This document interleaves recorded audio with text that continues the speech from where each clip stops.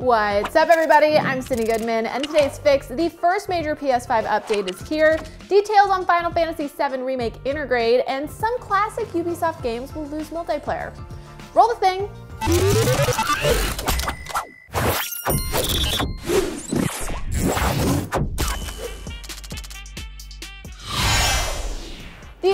Ever-elusive PS5 gets its first major update tomorrow, and it brings enhancements to storage, social features, and control and personalization options.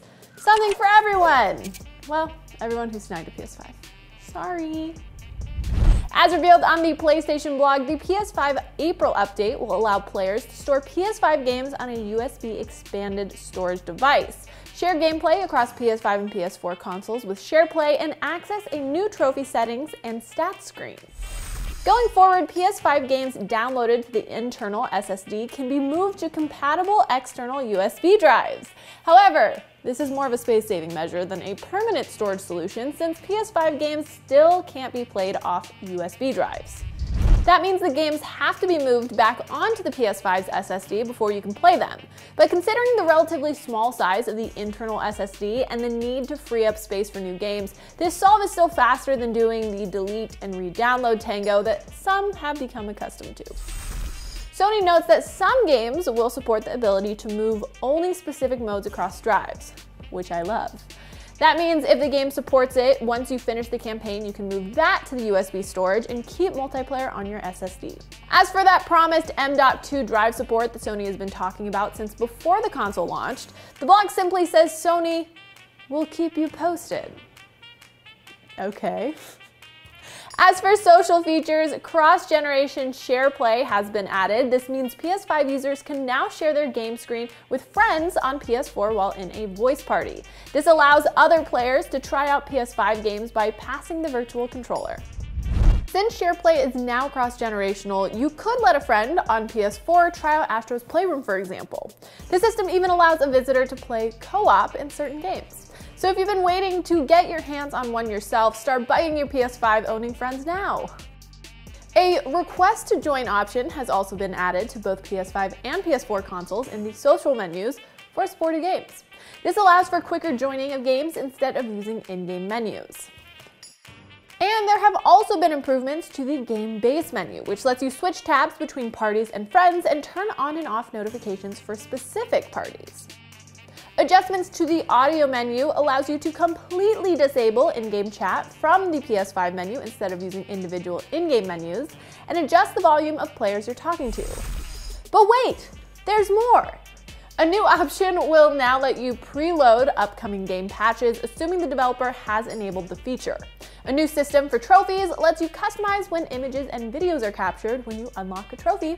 And finally, the update allows you to customize your game library and adjust the menu magnification to suit your needs. Before we move on, let me say, I am impressed with all these updates, specifically the space-saving ones. I haven't run out of space on my PS5 yet, but there's a new Warzone update on the horizon, so it might be coming soon, and this update will be very handy. For all of you out there waiting for more details on Final Fantasy VII Remake Intergrade, I have what you crave. Square Enix announced the new PS5 exclusive episode will be called Final Fantasy VII Remake Episode Intermission and see Yuffie attempt to steal the Shinra Electric Power Company's most powerful materia. Yuffie is a member of Wutai's elite corps of ninja operatives, and she has a unique playstyle that allows her to throw her iconic throwing star at enemies. She's also able to attack using long-range ninjutsu that can have elemental powers of fire, ice, lightning, or wind, probably from all that stretching she does. Yuffie also has an ability called Banishment, which can be charged with elemental ninjutsu that will do more damage based on how much ATB was spent before it. And another called Windstorm that will create a huge gust of wind that damages nearby enemies and launches them towards her. Final Fantasy VII Remake episode Intermission will also feature additional characters like members of Avalanche HQ. Nayo, Billy Bob, Polk, and Weiss, the sadistic ruler of Shinra's top secret underground research center, Deepground, will also be featured in the story. Final Fantasy VII Remake Intergrade will be available as a free update to everyone who owns FF7 Remake on PS4 June 10th. But Yuffie's FF7R episode intermission will be a separate purchase. Ubisoft has announced that a dozen of the developer's classic games will soon lose multiplayer functionality and online services. For example, Tom Clancy's Rainbow Six Vegas, Rainbow Six Lockdown, and Ghost Recon Future Soldier will all lose multiplayer and online support across all platforms on an unspecified date this year. On June 1st, eight games will see online support shut down on PC specifically Assassin's Creed 2, Prince of Persia, Forgotten Sands, Far Cry 2, Anno 1404, Might and Magic Clash of Heroes, Splinter Cell Conviction, The Settlers 7, and Might and Magic X Legacy. Not all of these games have multiplayer modes, but they'll be affected in some way by Ubisoft removing online support. According to Ubisoft, the multiplayer online services for those titles will be shut down as well as in-game news and player stats. Games with Ubisoft Connect enabled will lose that functionality as well. Players won't be able to earn Ubisoft Connect units anymore either, and Ubisoft Connect actions will be disabled too. But rewards will still be unlockable, you just won't get anything for unlocking them. But you still get a warm fuzzy feeling, just like the one you get when you finish a fix. Reward unlocked. And that was Daily Fix. I'm Sydnee Goodman. I hope your day is as awesome as you are.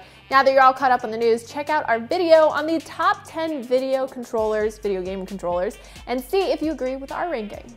Download the IGN app on all your mobile devices, subscribe to the Daily Fix on Snapchat, and for all things everything else, IGN.com.